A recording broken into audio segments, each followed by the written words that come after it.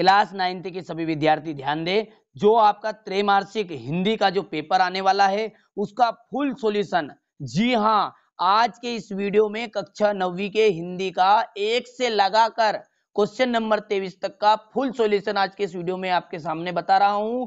को भी मैं आपको देखिए, यहाँ पर ये प्रश्न उत्तर बताए जा रहे हैं, ताकि आपका काम भी हो जाए और एमपी बोर्ड से हम भी बच जाए। ठीक है? तो फुल पेपर आपके सामने प्रस्तुत किया जा रहा है। आप इसे ज़रूर याद करके जाइएगा, वरना आपको पछताना पड़ेगा।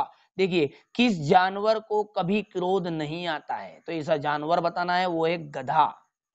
चलिए, छायावाद के जनक माने जाते हैं। तो छायावाद के जो जनक है, वो है जय शंकर प्रसाद। नाना साहब की पुत्री का जो नाम है, वो नाना साहब की पुत्री का नाम क्या है? वो है नाना देवी नहीं है। देखिए, यहाँ पर मैना देवी, उसका नाम है, गलती से नाना देवी बोल गया है। रघुपति राघव, राजा राम, पतित पावन सीताराम, यानी कि इसमें कौन सा अलंकार है? तो इसमें अलंकार है आपका अनुप्रास। और वहाँ रात भर सोता रहा। में निपात है तो निपात क्या है? यहाँ पर निपात है भर, ठीक है? जो किसी वाक्य में ज़ोर प्रदान करे, शब्द पर प्रेशर डाले वो क्या कहलाता है? निपात। तो यहाँ पर निपात है, भर। आम आदमी रोज़ाना प्रयोग करता है।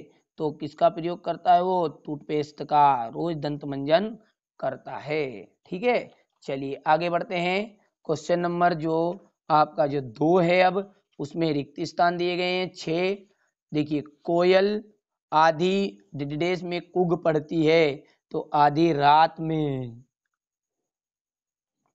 माटी वाली हर घर में डिडेस पहुंचाती थी।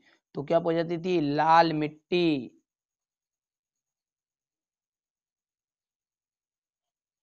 चलिए, कमाई में रिक्त स्थान प्रत्यय जुड़ा है तो कमाई में प्रत्यय आई। अलंकार कितने प्रकार के होते हैं? तो अलंकार मुख्यतः दो प्रकार के होते हैं। गुरुदेव शांति निकेतन से कहा चले गए? तो शांति निकेतन से श्री निकेतन चले गए।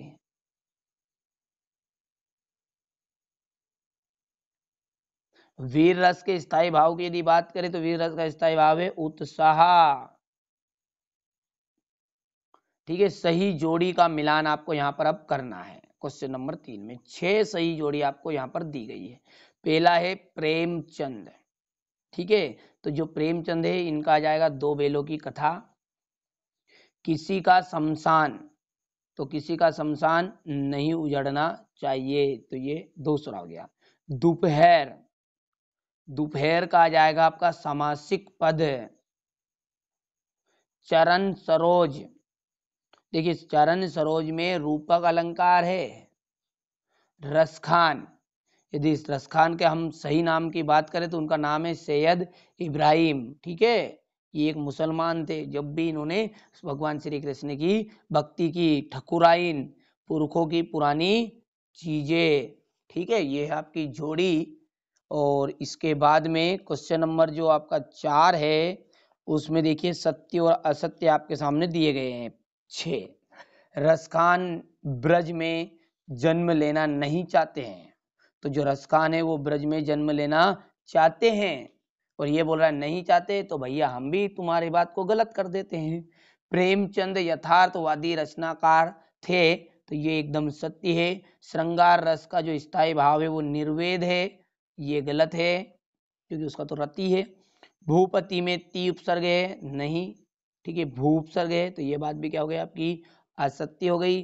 प्रबंध काव्य में पूर्वापर संबंध होता है, सत्य, माटी वाली का अपना घर था, माटी वाली के पास, बेचारी के पास में घर नहीं था। ठीक है, चलिए अगला देखते हैं, स्वान रूप कौन है? तो यहाँ संसार।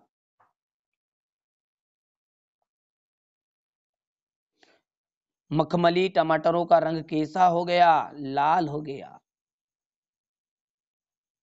भयानक रस का स्थायी भाव भे महादेवी वर्मा के परिवार में हिंदी को कौन लाया? तो महादेवी वर्मा की माता जी तो उन, उनकी माता या फिर आप लिख सकते हैं पूरा कि महादेवी की वर्मा की माता जी बल शब्द वाला बल शब्द में प्रत्यय लगने पर कौन सा शब्द बनेगा? ठीक है मतलब बल शब्द में वान है। यहाँ पर देखिए ये मिस प्रिंट हो गया थोड़ा सा लिखने में हमारे द्वारा। बल शब्द में वान प्रत्यय लगने पर क्या बन जाएगा? बलवान। मन योग का संधि विच्छेद करेंगे तो मनाधन योग। ठीक है?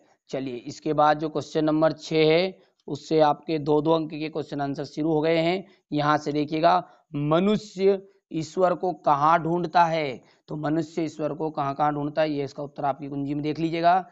देखिए, ब्रजभूमि के प्रति रसखान का प्रेम कितने रूपों में विव्यक्त किया गया है? किस शासन की तुलना तम के प्रभाव से की गई है और क्यों दो महाकाव्यों के नाम और उनके रचनाकारों के नाम बताने हैं। क्वेश्चन नंबर आठ में देखिए, यहाँ पर भावार्थ आपको लिखना है। ठीक है? चलिए, इसके बाद में क्वेश्चन नंबर यदि नाइन की बात करें तो महाकाव्य किसे कहते हैं? हिंदी के दो महाकाव्यकारों के नाम आपको बताने हैं। वीर रस की परिभाषा आपको देनी है और उत्प्रेक्षा अलंकार की परिभाषा उदाहरण सहित, दोहा छंद के लक्षण को उदाहरण सहित समझाना है। जीवनी की परिभाषा बतानी है संस स्मरण की परिभाषा बतानी है।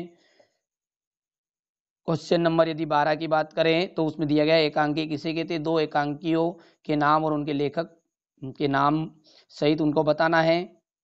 और आपकी दृष्टि में वेशभूषा के प्रति लोगों का आज क्या हो, परिवर्तन आया है, ये हो गया है। और महादेवी वर्मा अथवा, देखिए यहाँ पर ध्यान से दीजिएगा, महादेवी वर्मा और या सुमित्रा नंदन पंत, दोनों में से किसी एक की दो रचनाओं को आपको लिखना है। एक की दो रचना। निम्नलिखित मुहावरे आपको दिए गए ईद का चाँद होना यहाँ पर हौसला पस्त होना, चार निपात शब्द लिखने हैं, ठीक है? लेखिका की जो दादी है, उनके घर में माहौल, के माहौल पर शब्द चित्र का अंकित कीजिए और लेखक को अंग्रेज़ी में कविता लिखने क्यों रहा होगा? मतलब लेखक को अंग्रेज़ी में लिखने का जो शौक था, वह क्यों रहा होगा, ये बताना है।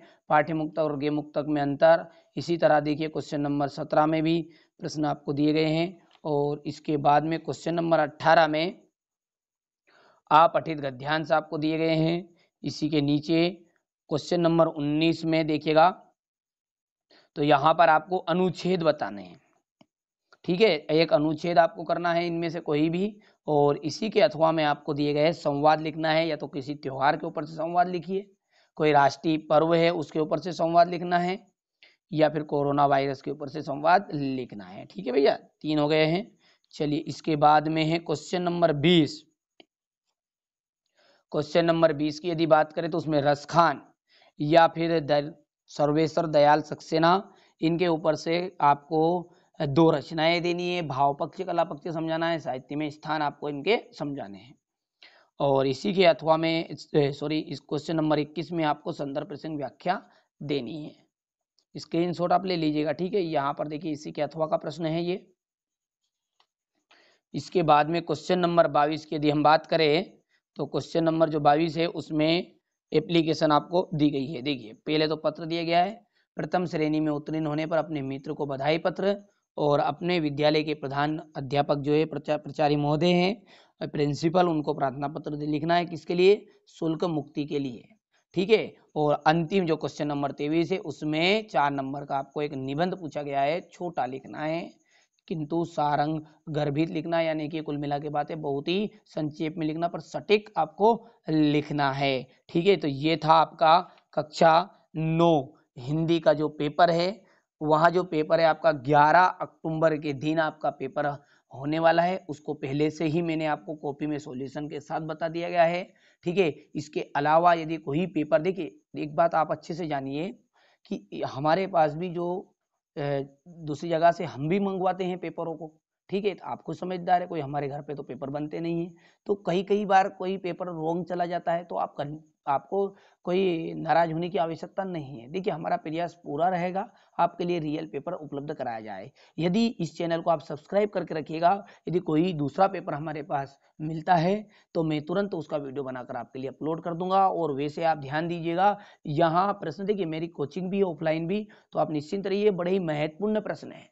ये आपके एग्ज़ाम पेपर में आने वाले ही हैं और लगभग यही पेपर आपका रियल पेपर है। 99 परसेंट मेरा दावा है कि यही पेपर आपका परीक्षा में आने वाला है त्रैमासिक पेपर में। ठीक है तो आप अच्छे से कंप्लीट करिएगा। फिर भी यदि कोई दूसरा पेपर मेरे पास उपलब्ध होता है तो मैं तुरंत उसका वीडियो बनाकर आपको डाल दूँगा। तो इसलिए आप सब्सक्राइब करके ज़रूर रखिएगा।